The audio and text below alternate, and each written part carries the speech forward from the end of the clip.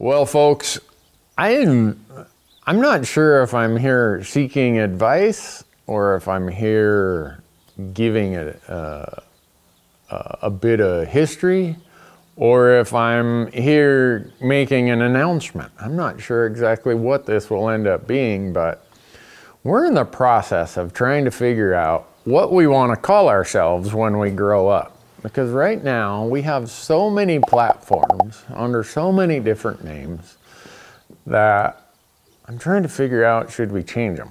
Anytime you build a brand, you, you don't want to have multiple brands. You, you want to have them all under one umbrella, and it's way easier to market. The identity, the association, the, the feeling the audience and customer has with you will be much stronger if you have one brand. So we started out this operation fall of 2008. Uh, I, Matthew and I and some friends, we'd been filming each other in 2005, 6, and 7. I thought, oh, I'm going to do a DVD series. Series, yeah, right? Uh, it got completely rejected down at the SHOT Show. So summer of 2008, spring of 2008, I sold all my cameras, sold everything, got rid of it all. Um, and uh, I kind of said, I'm done. Tried it, not going to work. And then a friend of mine uh, owned a production company that I didn't know he owned a production company. He knew, he found out what I'd been up to, and he's like, No, don't quit. Uh, I think I can help you with this. So he talks me into it. He's like, Look, if anyone can do this self guided public land thing, it's you. And I'm the production company. If if you agree to be the host and spend all the time, uh, I'll front the, the cost of the first three or four trips. And you see if you like it. And if you do, we'll sign a contract. okay.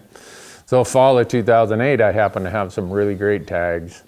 He sends his, his folks out. They film it. They turn it around and edit it really quick. And I'm like, whoa, those guys are really good. So in like late September, early October, I sign a really big contract for them to produce an entire season. So the way outdoor TV works is you you either bring in your own production crew or you hire a production crew, and then you have to pay the network to air your show. And depending on how many commercial slots you want, what time slots you want, uh, that determines how much you pay. But it's really expensive. So uh, he's helping me line up sponsors, and we're like, all right, well, we'll get all the paperwork taken care of. Uh, later, you know, once Randy gets off the road, blah, blah, blah.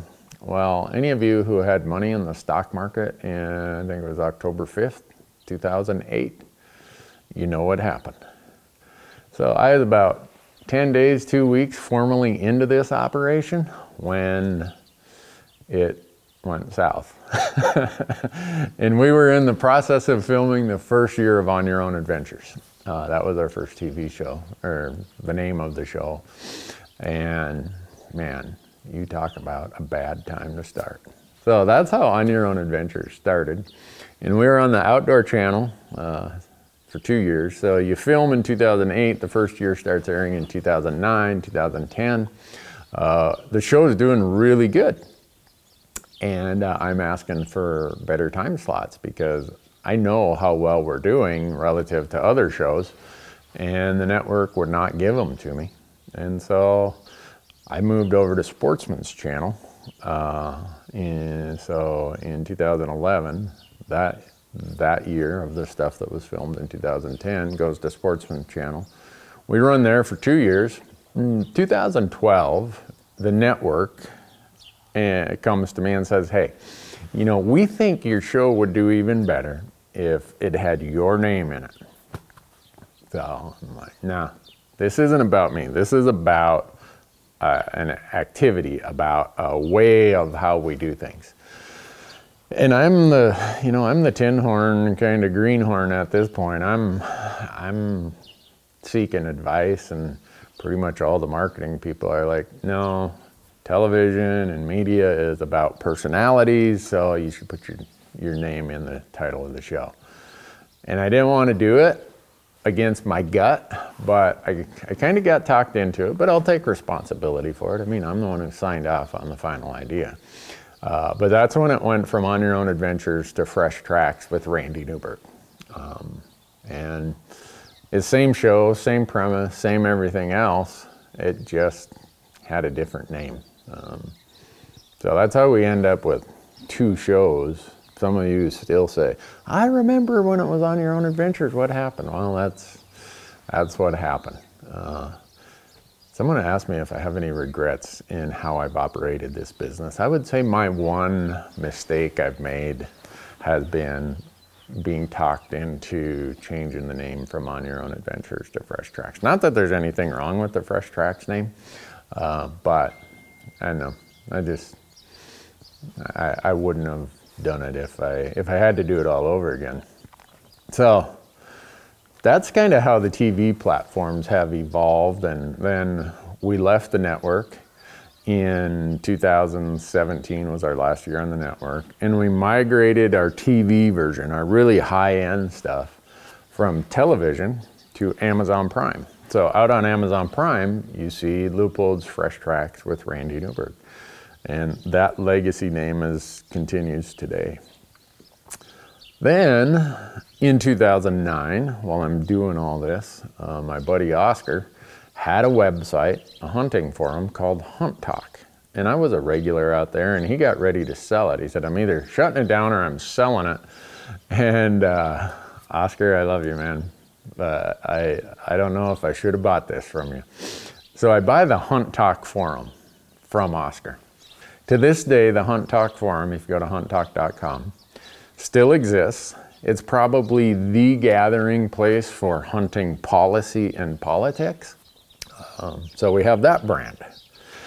And then uh, we, you know, along comes Facebook, and I've never been a big Facebooker, but I end up with a personal Facebook page. I end up with a Facebook page for On Your Own Adventures and one for Fresh Tracks.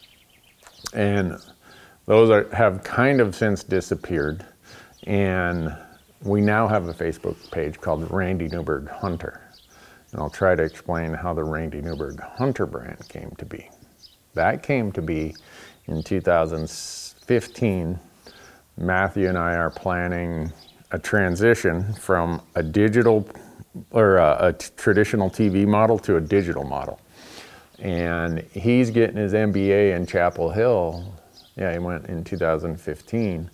And as part of his whole MBA thing, he's helping me with this transition from traditional TV to all digital platforms. Uh, and one of the things that you figure out, digital is all about search. So everything you read, all the experts are like, whatever brand you have, make sure it's really searchable.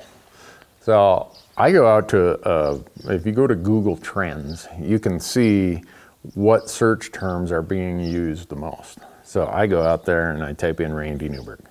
Anything Randy Newberg this or Randy Newberg that, it's always Hunter, Hunter, Hunter.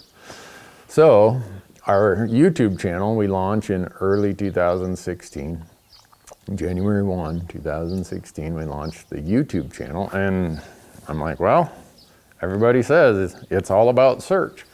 And the number one search term for me is, or for our platforms is Randy Newberg and Hunter. Those are the two terms that are there. So that's what the YouTube channel became, Randy Newberg Hunter. So the same thing applied for Instagram and Facebook. It's like, well, that's still the most searched term. That's what my Facebook and Instagram pages are called also is Randy Newberg Hunter. So I got that name that has three platforms. Then in the summer of 2015, the good folks at Meat Eater and 0.0 get a hold of me. They just started their Meat Eater podcast a while before that, and it's doing great. And Dan Doty and Janis Putelis are like, Randy, you know so much of this politics stuff, you need to start a podcast. I'm like, yeah, I got enough going on. So I owe them so much thanks because they produced, they helped me start the Hunt Talk Radio podcast. So now in 2015, I got a podcast to go with the Hunt Talk Forum. So I got the Hunt Talk podcast, the Hunt Talk Forum. And then in 2018, I talked Corey Jacobson into doing the Elk Talk podcast with me. At least there's a little consistency there, right? Hunt Talk, Elk Talk. Oh, and also the crew two years ago decides they're going to start their own Instagram page called Fresh Tracks TV. As if we needed one more kind of moon orbiting our planet here. So here's where I'm at. I'm trying to figure out how do you take this many brands and bring them into one umbrella? Uh, we've got big plans of things we want to do to continue our why. And that why is to promote self guided public land hunting and create advocates for that cause.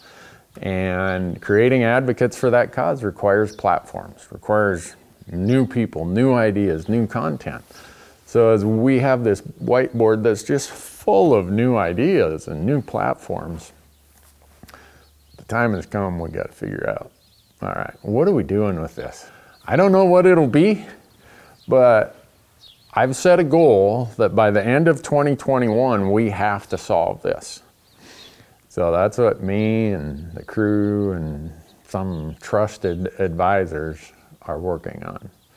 So if ever you, you do hear that or you see something different, it'll be the end result of what I'm discussing and what I'm trying to do here. But uh, anyhow, I thought I'd share that with you. The crew thought, you know, that probably wouldn't be a bad idea to share with the audience. So if we do end up changing anything, which we're not sure if we will, but likely we will, uh, they're not caught off guard and maybe somebody's got some good ideas or some of you watching are experts in this sort of stuff and uh, you'll give us some some guidance of what path to follow but i can tell you this if it wasn't for all of you i wouldn't have this dilemma because it's all of you who watch listen engage participate that's the reason why we're here so thanks for all your support and uh, hopefully, as we travel forward, uh, we'll be able to provide more of what you enjoy, what you find relevant